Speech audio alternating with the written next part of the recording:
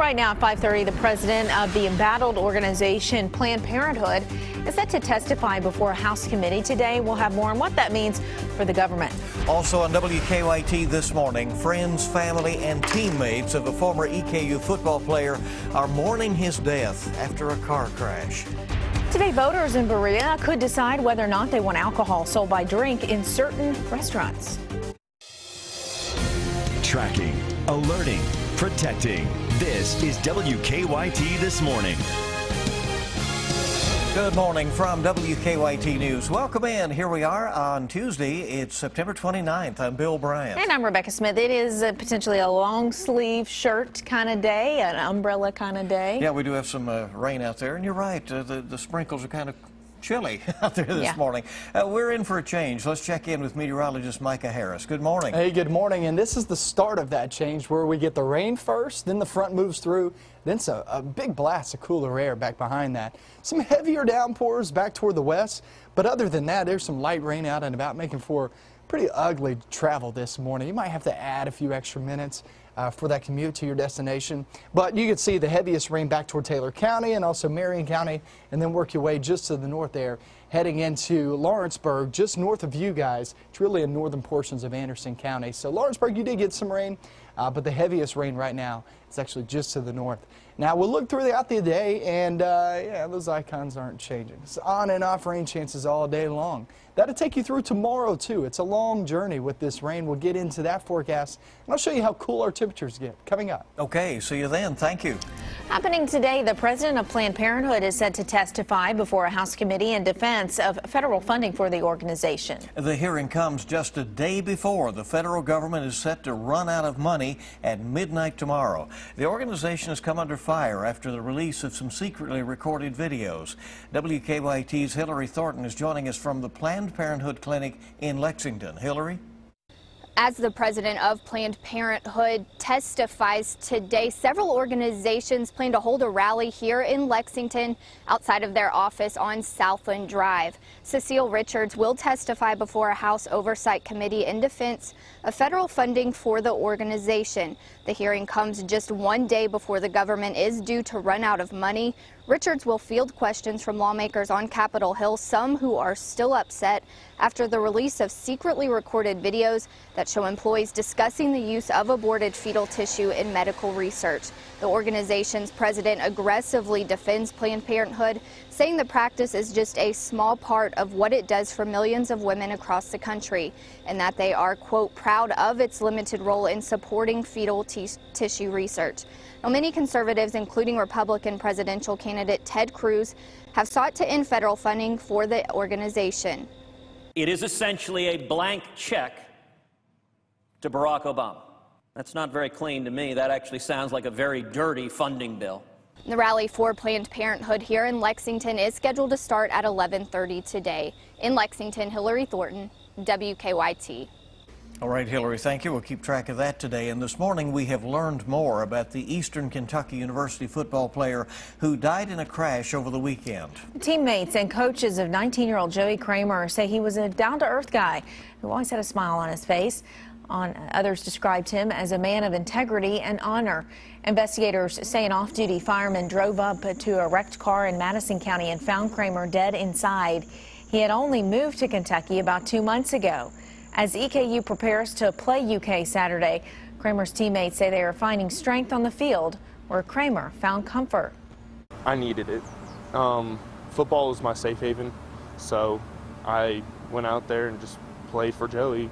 Even when you're down like I am now, and like our whole team is, he would put a smile on your face. Kramer will be honored during the playing of My Old Kentucky Home before the game between UK and EKU kicks off Saturday night. Fifth Third Bank has agreed to pay millions of dollars after being sued for charging black and Hispanic customers higher rates for auto loans. Federal officials say the $18 million settlement will compensate those who were overcharged. U.S. Attorney General Loretta Lynch recently filed a civil action against the company for its discrimination. The lawsuit states that thousands of black and Hispanics were obligated to pay around $200 more over the life of their loans than all other races. Well, today the community of Berea will be voting on whether or not they want to allow alcohol to be served in certain larger restaurants. It would be a big change for that city. More than a thousand people signed a petition to put the issue on the ballot for a special election. WKYT's Mark Barber is joining us from Berea this morning. Good morning, Rebecca and Bill. Poll workers are already here. It is still early, but they are setting up for this special election. In about 30 minutes, voters will start pouring into this gym here at the Berea Community College, and they will decide if they want to allow the sale of alcohol in larger restaurants. Now, this measure was put on the ballot after more than a thousand people signed a petition to vote on the issue. If it passes, Berea would allow restaurants to serve alcohol by the glass if the restaurant seats at least 50 people and makes 70% of their sales off food. Unlike uh, Richmond and Madison County, Berea will not allow package stores or bars to open in the city. In a community that has long banned the sale of alcohol, this is a very hot button issue. On one side, you have the mayor who thinks the alcohol sales could boost the local economy.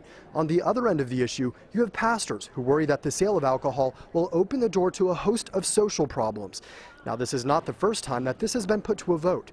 Two previous votes that would have allowed alcohol sales within the city limits have both failed.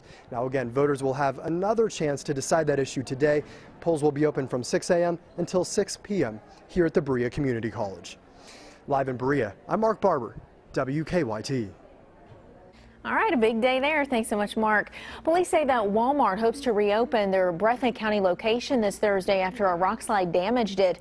The rocks crashed into the back wall of the Jackson Walmart around midnight Monday, just as it was closing up for the night.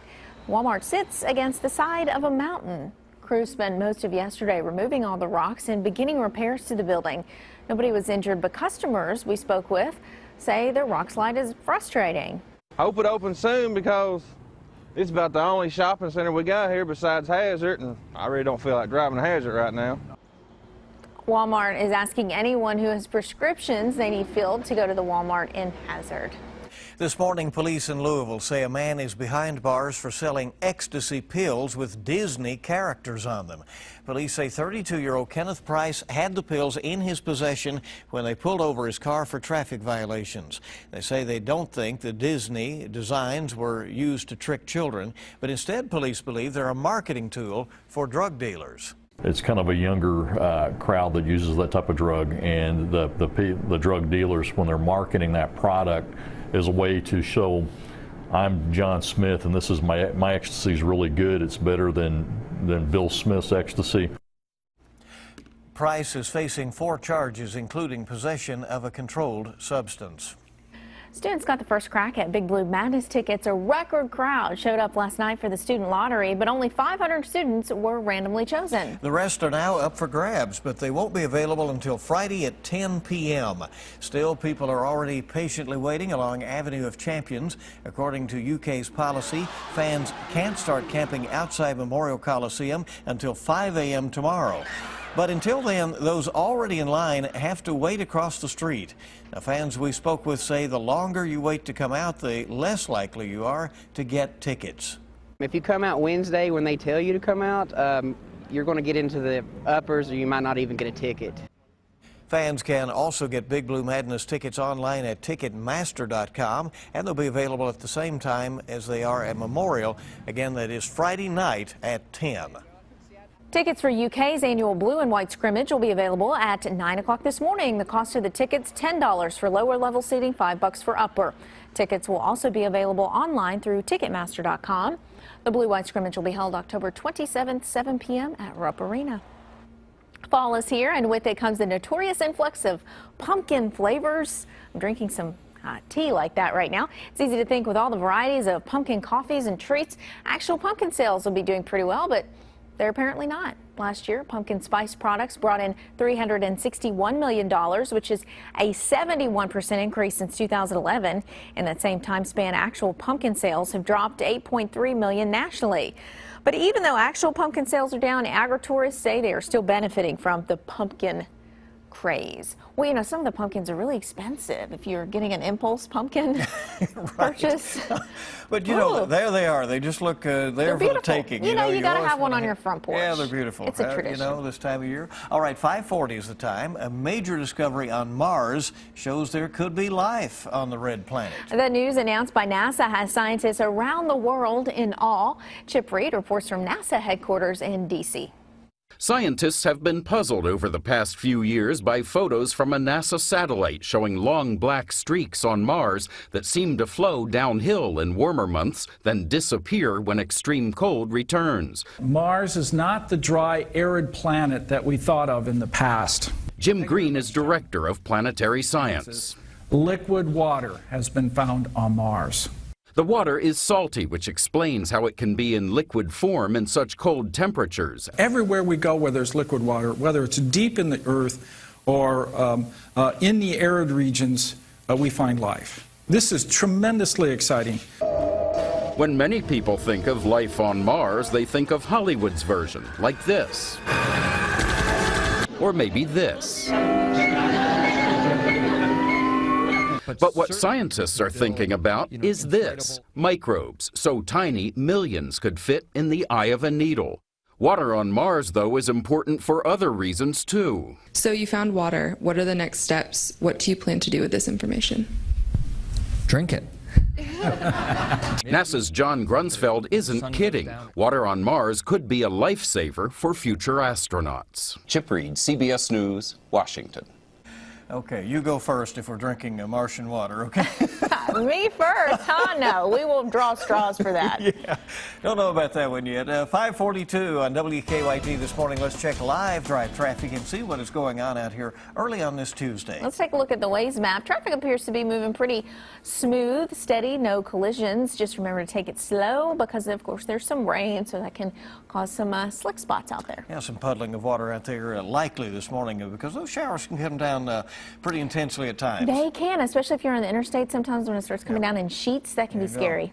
Wipers on, Mm. and uh, hope you have a good ride in this morning. All right, more news coming right up. We've all heard how dogs hate mailmen, but it seems like monkeys have a little bit of a beef with them as well. We'll show you more of this mail-eating monkey after weather. And a lot of rain out there this morning, especially back toward the west, as we're looking for those scattered showers making their way through the day. We'll get into that latest forecast. I'll show you a wet one coming up.